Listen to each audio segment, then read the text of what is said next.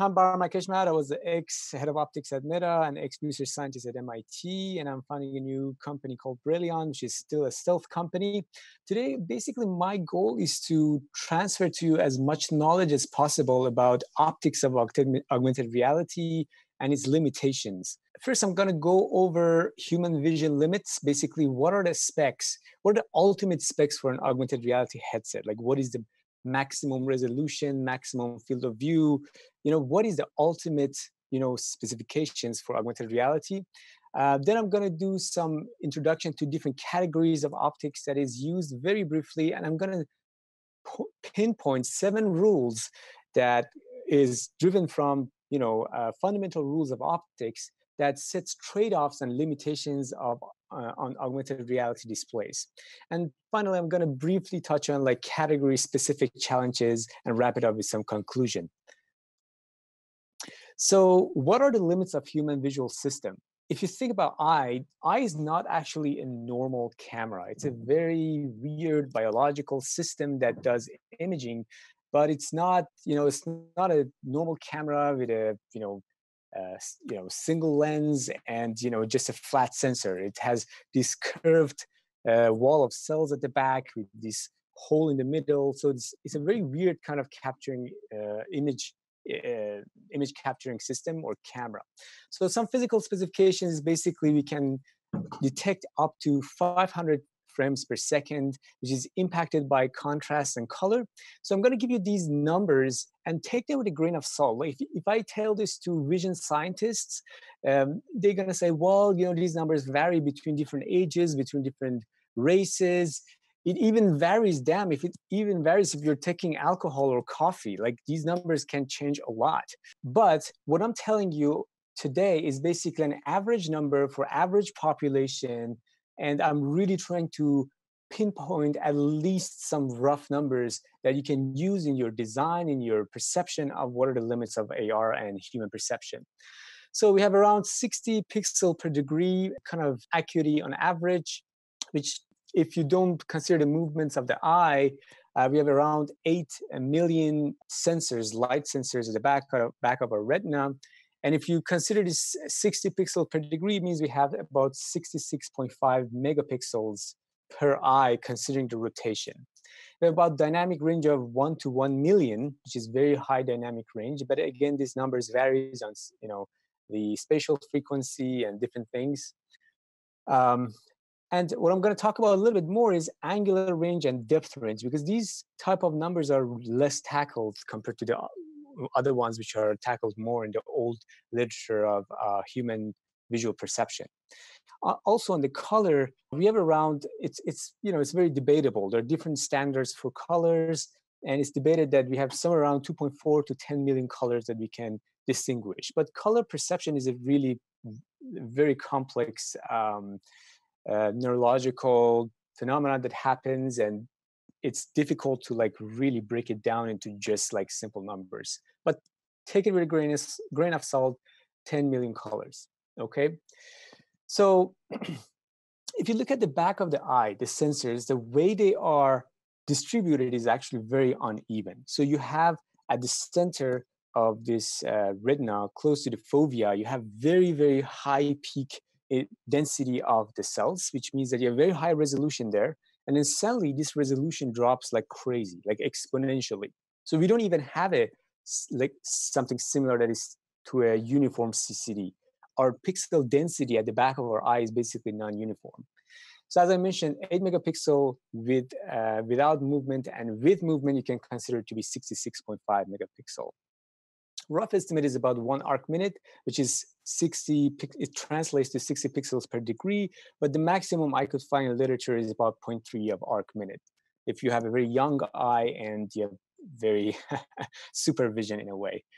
All right, so in terms of temporal and chromatic profile, if you don't have any spatially varying information, for example, for just a plain white and black switching screen, the frequency that your eye can detect is about 60 to 90 hertz. And that's why originally the displays were uh, set to that, this, that frequency or that refresh rate. But there is a bunch of research that shows that if you have different colors or different spatial information, this actually can be extended significantly up to even 500 or 800 hertz. So, for example, in the color green, if you have a certain spatial frequency in the image, you can detect even up to 800 hertz. And that's why gamers have been pushing the frame rate because they were like, hey, 60 hertz is not really cutting it for me. And this study, which was published in scientific reports, basically pinpoint that that it, this number actually varies with color and spatial frequency. On the chromatic profile side, you can see down here there are these profiles uh, that shows the profile spectral profiles of our cones uh, and our rods. And you can see there's actually big overlap. So although we have blue green and red cones that detect different colors these cones are not like notch filters. They actually have a bunch of overlap and it's really our, our brain that do, doing some part of the processing as well. In terms of depth and um, a little bit more on xy so our point spread functions and people who are familiar with uh, uh, optical imaging systems they're familiar with point spread functions or even people who work with signal processing it means basically if you have a point in the screen this point is not going to be exactly like a delta function at the back of your eye it's going to become some sort of a Gaussian profile. And that has that means it has a, spread function basically. People in microscopy are very familiar with this. So you can see that um, we have this kind of spread function, and we have a different split function in depth as well because we have a, a camera that has a varying lens, and this means that our point spread function is not just a planar thing; it's a it's a volumetric thing. So we have XY profile and we have a Z profile. And that Z profile is is basically what's called depth of field. We have depth of field in cameras as well. We have this depth of field that you can see in this middle graph that goes from uh, 0.4 diopter to all the way to 0.15 diopter. These are these distances uh, uh, that we consider them to be clear. Obviously, this depth of field is also function of spatial frequency. So for example, if you have higher spatial frequency, it means that you get this blur in a narrow region. If you have less of a spatial frequency, which means you have these dark and white lines that are more separated apart, uh, then you can have, you can consider that your depth of field is slightly longer uh, in depth. So in terms of angular profile, we have about 120 vertical field of view and 100 154 horizontal field of view per eye. Uh, but overall, one of the uh, on the higher part of the spectrum, I've seen 220 horizontal field of view for both of the eyes. Now, the interesting thing is that this number varies significantly between the number that describes this binocular vision, which is the, the place where both of the eyes kind of overlap, their field of view overlaps. Um, that one is varying significantly by, by race. So, for example, if you're a if, if you have a flatter nose, you can have up to 30, 40 degrees larger binocular field of view. So these are kind of challenges that AR optic designers and headset designers should consider. In terms of binocular depth profile, um, um, there is stereoscopic depth perception and monocular depth perception. And stereoscopic is similar to IMAX. You're using both of your eyes and stereopsis, which is the difference between the images under your left eye and right eye to perceive depth. For monocular level, you're, uh, uh, you're only using one eye. So you're changing the variations in your uh, uh, crystalline lens to, to detect depth. There are other depth cues which are kind of uh, um, related to psychophysical type of depth cues, which I'm not going to be talking about. I'm looking at eye only from from optics perspective here. So in the literature, the stereoscopic acuity is reported about 0.17 arcminute maximum and 0.5 arcminute on average. And there's this relation that gives you the thickness of these depth layers and the uh, and the stereoscopic acuity. Now, this thickness, this range, is called Panum's fusional area. So you can think of it this way: basically, the if you want to say what is the depth resolution of human perception, human visual perception, with both eyes, it's like some curving surfaces. But these surfaces, they kind of blur out. They, they have certain thickness to them, which is dependent on these stereoscopic acuity. And they get kind of fatter on the side. And as you go forward, these curved surfaces, they get flat at a distance called called abathic distance. So at, at a distance called abathic distance, this becomes completely flat like a wall.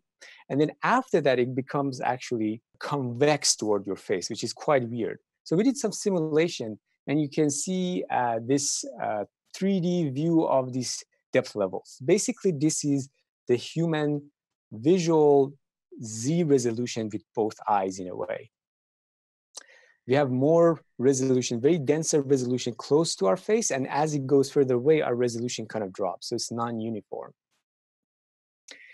And so what are these depth levels and what are what are the problems uh, that we should tackle is um, is kind of, kind of the challenges that uh, we and my team have been thinking about a lot.